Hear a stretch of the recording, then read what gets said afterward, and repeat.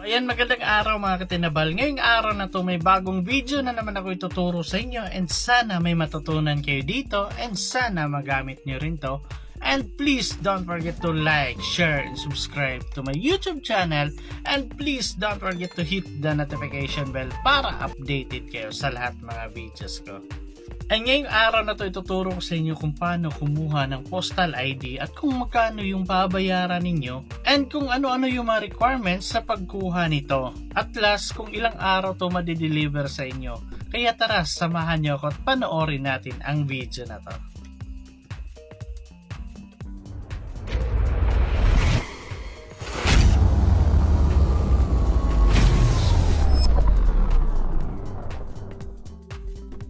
So ano nga ba ang postal ID? Ito ay ang bagong government identity card issued by the Philippine Postal Corporation or PhilPost. At ito ay equipped ng special features na hindi typical sa isang ID card.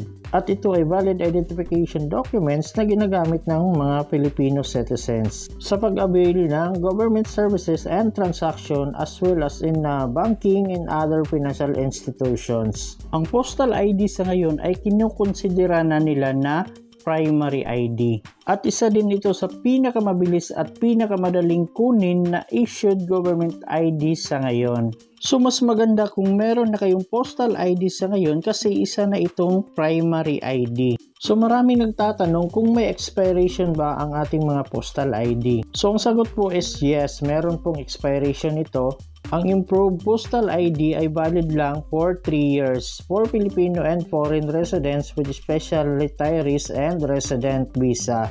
At the rest of the foreign residents ay valid lang po for 1 year.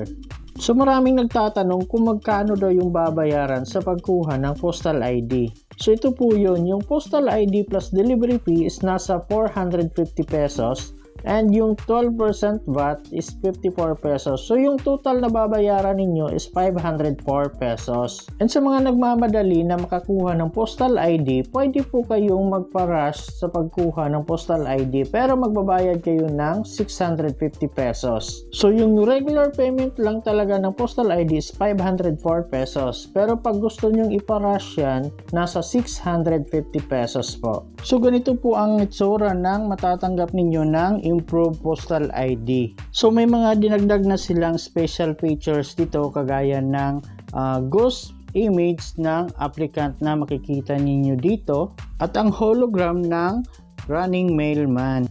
And may mga special features pa to na makikita nyo lang kapag tinapat sa UV light. And may makikita din kayong unique QR code sa harap na personalized per ID yung nandito at depende na sa data ng applicant. So ano-ano nga ba ang mga requirements sa pagkuha ng postal ID? So yung una is yung 2 copies of duly accomplished postal ID application form. Pero para hindi na kayo mahirapan, ilalagay ko na lang po sa description box yung link para doon nyo na lang po i-download. So dapat may dalawang copies kayo nito. So yung pangalawa is yung proof of identity. So kailangan nyo lang po mag-submit ng isa sa mga ito. Una is yung birth certificate issued by the NSO or Local Service Registry. Second is GSIS or SSS UMID card. Next is driver's license. And yung last is yung passport. So, kailangan nyo pong mag-submit ng kahit isa sa mga yan. And para naman sa mga babaeng kasal na, magdala lang kayo ng marriage certificate to validate the change of name from the birth document. Pero kung wala kayo ng mga primary IDs na hinihingi nila, so kailangan nyo mag-submit ng mga secondary IDs. So dalawang copies po ng secondary IDs yung kailangan nila. Basta po daw yung may picture at perma na makikita. So ito po yung mga listahan ng secondary IDs na kailangan. So kailangan nyo mag-submit ng dalawang secondary IDs na nandito. Una is yung BIR ID, Baptismal Certificate, Certificate of Birth, college or postgraduate transcript of records, confirmation certificate, elementary or high school form 137, marriage certificate, valid alumni ID, valid basic postal ID, valid college, school or university ID, valid company ID, valid integrated bar of the Philippines ID, valid NBI clearance, valid OWA ID, valid pag-ibig ID, valid PhilHealth ID, valid PRC ID, valid paper-based postal ID, valid police clearance, valid Siemens book, valid senior citizens ID, valid TIN ID, valid voters ID. So ulitin ko po, kung meron kayo nung primary ID, pwedeng isa lang po doon ang isasubmit ninyo. Pero pag wala, kailangan nyo pumili ng at least 2 valid IDs or documents na nasa secondary IDs. At ang panghuli, ang pag-submit ng proof of address. So, kailangan nyo mag-submit kahit isa sa mga nandito. So, una is yung Barangay Certificate of Residency issued within 3 months prior to the postal ID application. So, dapat uh, hindi pa lumagpas ng 3 months. Next is yung Certified True Copy of Lease certified true copy of titles issued with the Land Registration Authority, certified true copy of real estate tax receipt, bank statement, credit card statement, school billing statement or utility bill. So example nito is yung cable, electric bill, internet, landline, telephone, and water bill na nakapangalan sa iyo. So take note po, isa lang sa mga nakalista dyan na proof of address ang kailangan ninyong dalhin photocopy and original. And sa mga nagtatanong kung saan naman pwedeng mag-apply ng postal ID. So meron po silang 260 na capturing station dito sa Pilipinas and halos lahat nasa mga major city. So take note po, hindi po pwedeng online kayo mag-apply nito kasi kailangan yung picturean tapos mag-fingerprint kayo doon. So hindi po talaga online, kailangan yung pumunta sa pinakamalapit na capturing station ng uh, postal ID. Huwag po kayong maniniwala sa iba na nagsasabi na pwede kayong kumuha online. Pwede kayong mag-fill up online pero kailangan nyo talagang pumunta sa pinakamalapit na capturing station sa inyong lugar.